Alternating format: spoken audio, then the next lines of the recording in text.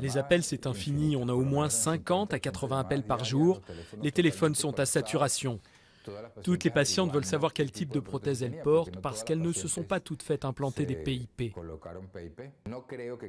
Je ne crois pas que ça changera les mentalités des Vénézuéliennes. Les gens n'ont pas de problème et cela fait des années qu'implanter des prothèses mammaires fait partie de la tradition. J'ai 21 ans et j'ai des prothèses PIP. J'attends mon tour pour l'opération après celle de ma mère qui est dans la salle d'opération.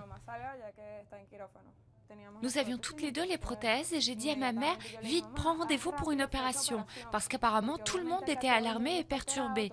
Tout le monde cherchait une date d'opération. Et qui sait si on ne peut pas se faire opérer avant mars? Et qui sait si avant mars, une prothèse ne sera pas rompue? Parce que je suis peut-être sur la liste de celles qui ont les prothèses défectueuses.